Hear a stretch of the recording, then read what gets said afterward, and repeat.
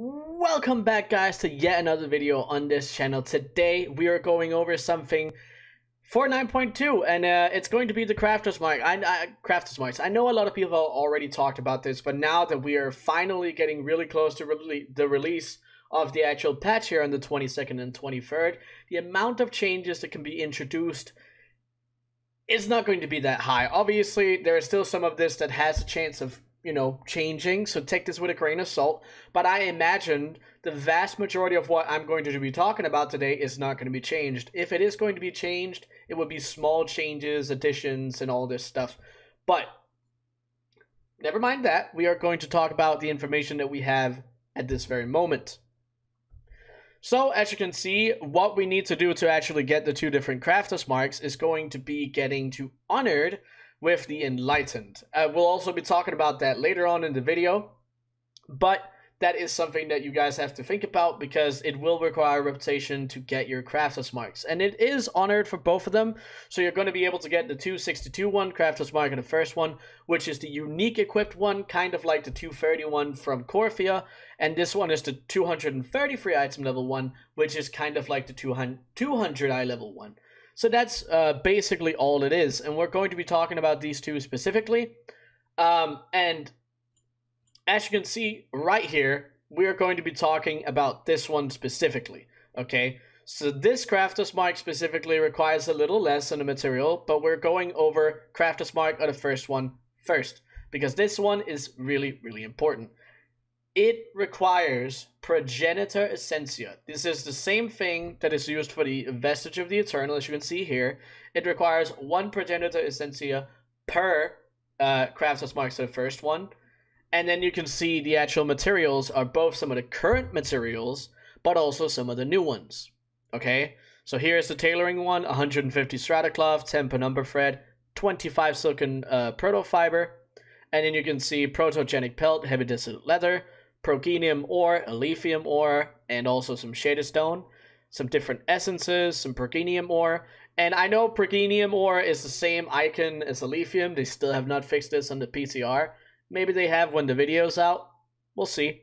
And then uh, you can see that this is the same thing. But besides all that, it is a combination of new and old materials. So this will keep both of the materials alive for a little longer. And then obviously it uses one of these. These have an insanely low drop rate on the PTR at the moment. Uh, obviously, that might change for release, but as it seems right now, these are going to be extremely hard to get. Extremely hard.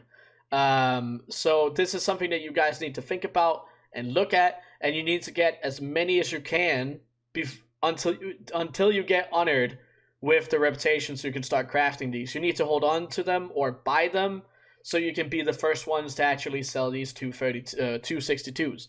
Because something that's really important with these items is that 262 is extremely high on the item level. It's going to be a big boost to the people uh, that are new, obviously, new to 9.2, but also to the raiders and the people that are going into the hardcore content instantly. They probably also want one of these for some of their slots.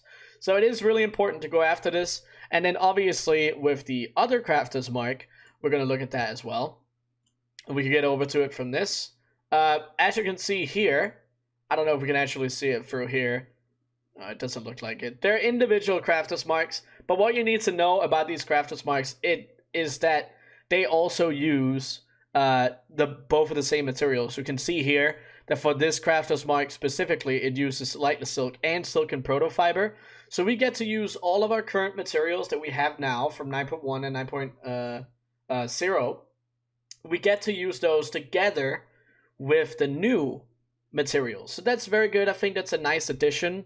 And I definitely think that it's something that you guys need to think about. If you haven't invested or have any stocked up materials from the current materials, you need to definitely think about that because you will be needing, and we will be needing a lot of these. So it's definitely important to look at.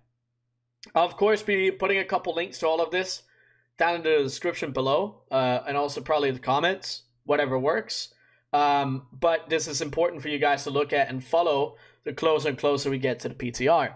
Now, the other thing that we will look at is going to be the reputation. Wowhead put together a list of how long it would take. I've talked about this in some previous videos, but because it makes sense to talk about this for the Crafter's Mark specifically, we are going to talk about it again.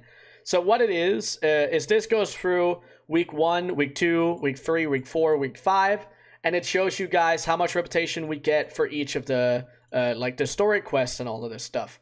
And then additionally, they also tell you um, uh, they also tell you how much rares and how much um, um, the different like twice a twice a week quest give. There's a couple of other, like there's a couple other things on Zereth Mortis that you want to be doing all of the daily content, and there's a good list here. You can see uh, completion of the bi-weekly quest, patterns within patterns, kill credit for some world bosses, rares, uh, rare elites, dailies, world quests, uh, treasures, all of this stuff. And you want to be able to do this and do this actively to be caught up as much as possible. But we're going to be looking at the TLDR. And what you can see right here is going to be reaching honored with the enlightened will take around 10 days. So around 10 days of min-maxing as much as possible. So that's doing absolutely everything that you can on one character, or however many you want to do it, you can get to honored reputation within 10 days. So that's how many days you have from when the patch releases until people will start hitting honored.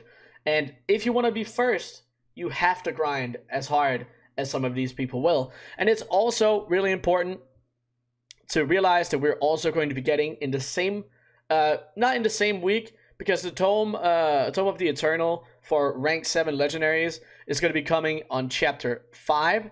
Um, this will be week 3. So on the 22nd, 23rd, that's week 1. A week later, week 2. A week later, week 3.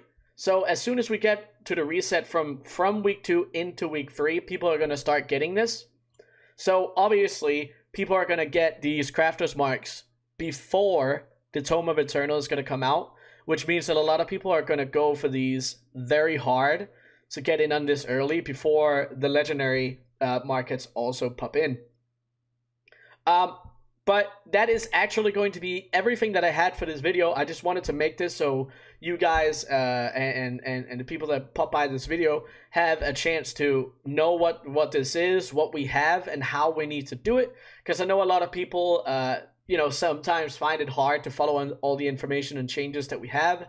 So this is what that video kind of serves for. I hope this help you out, help you guys out, of course. Uh, but that's gonna be it for this video, and until the next one, see you guys.